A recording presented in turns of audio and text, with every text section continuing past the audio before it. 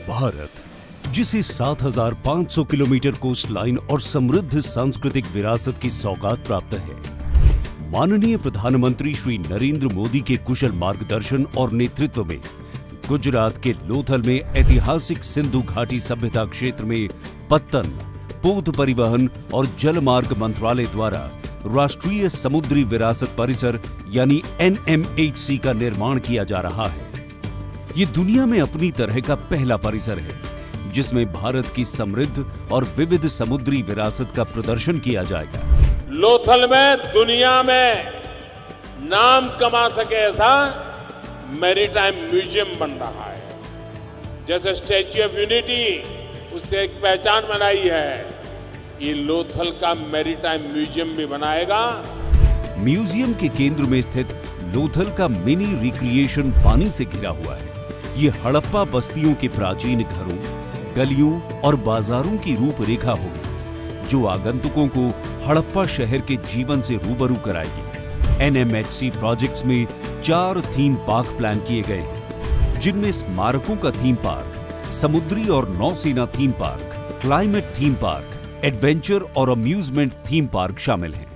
77 metre की ऊंचाई पर विराजमान आइकॉनिक लाइट हाउस म्यूज़ियम दुनिया का सबसे ऊँचा लाइट हाउस म्यूज़ियम होगा। कोस्टल स्टेट्स पवेलियन स्थानीय फ़ूड आर्ट्स और कल्चर को एक साथ लाएँगे। एनएमएचसी म्यूज़ियम थीम वाले होटल और मैरीटाइम थीम वाले इको रिजॉर्ट के साथ मेहमान नवाजी का बेजोड़ विकल्प प्रदान करता है। बेहतर जलमार्ग कनेक्टिविटी के साथ पर्यटक अपने होटल से यात्रा करने के अलावा म्यूज़ियम में विभिन्न गतिविधियों और सेंट्रल कोर्टयार्ड में साउंड एंड लाइट शो का आनंद लेने के लिए आगे बढ़ेंगे। इस म्यूज़ियम में दो चरणों में कुल चौदह गैलरीज बनाई जाएँगी, जो हड़प्पा युग से लेकर आज के आधुनिक समय तक के उदय और पराक्रम की गाथाएँ दर्शाएँगे। गैलरी एक, अनुकूलता और महासागरीय पौराणिक कथाएँ।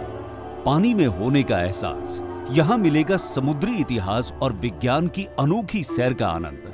अनूठे डोम थिएटर का मज़ा और महासागरीय पौराणिक कथाएँ कहने वाले वीआर का नयापन। गैलरी दो, हड़प्पावासी पथ प्रदर्शक नाविक। मौजूदा इंट्रोडक्शन वीडियो और टाइमलाइन मिनी फ्लाइंग थिएटर अनुभव की शुरुआत की जाती है, जो आगंतुकों को समय के साथ यात्रा कराती है। सभी मनोरंजक सुविधाओं से परिपूर्ण इस लोथल टाउन में बेहतरीन कार्यशालाएँ, बेहतर सड़कें, भव्य इमारतें, कामकाजी डॉक, जहाज़ और व्यापार संबंधी विभिन्न इंटरैक्टिव सुविधाएँ मौजूद होंगी। गैलरी तीन, हड़प्पा के बाद की ट्रेजेक्ट्री और जलवायु परिवर्तन का प्रभाव हड़प्पा युग के बाद की ज़िंदगी दर्शाने वाली अनूठी प्रदर्शनी। ये गैलरी मिट्टी के बर्तनों की संस्कृति, लोहे के प्रयोग, संस्कृति और व्यापार के बढ़ते दायरों और महाजनपद काल में लिखे नुस्खों की जानकारी प्रदान करेगी।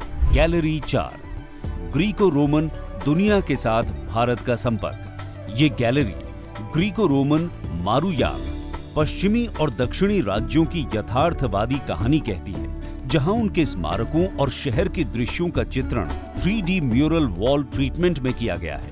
ये गैलरी समुद्री गतिविधियों को दर्शाने वाले व्यापार जीवन शैली और डॉक के बारे में जानकारी प्रदान करती है।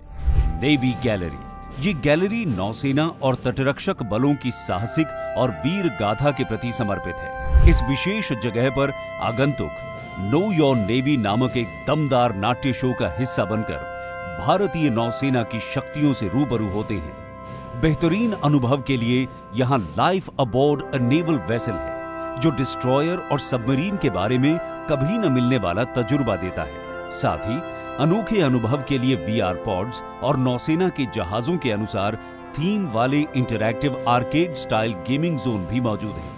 भारतीय तटरक्षक बल के जीवन को उजागर करने के लिए इंटरैक्टिव टाइमलाइन और वीडियो के साथ एक विशेष क्षेत्र नामित किया गया है। वहीं समापन क्षेत्र वीडियो और मल्टीमीडिया मूर्तियों के ज़रिए नौसेना और तटरक्षक समुदाय को सलामी और श्रद्धांजलि अर्पित करता है। इसका उद्देश्य युवा पीढ़ी के दिलों में देशभक्ति का जज्बा जगाना और गर्व से देश सेवा में जोड़ने के लिए प्रेरित करना है।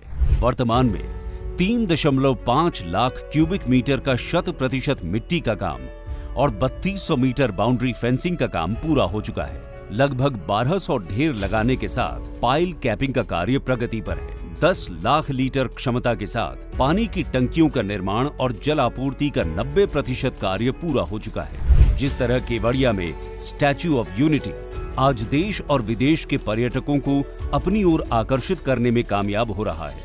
उसी तरह आने वाले समय में एनएमएचसी प्रोजेक्ट अंतरराष्ट्रीय पर्यटन स्थल के रूप में अपनी पहचान बनाने के साथ स्थानीय समुदायों के लिए रोज़गार और आय सृजन तथा सतत विकास में योगदान देगी।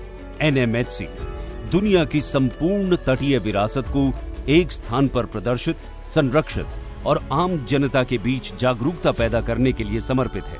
अद्वितीय, ऐतिहासिक और स्थानिक संदर्भ में अपना स्थान बनाने में राष्ट्रीय समुद्री विरासत परिसर खरा उतरता है, क्योंकि लोथल दुनिया के सबसे प्राचीन डॉकयार्ड टाउन में से एक है, जो महत्वाकांक्षी पर्यटन और सांस्कृतिक केंद्र बनने की ओर बढ़ रहा है। आने वाले समय में एनएमएचसी एक विश्व स्तरीय पर्यटन स्थल के रूप में अपनी पहचान बनाएगा।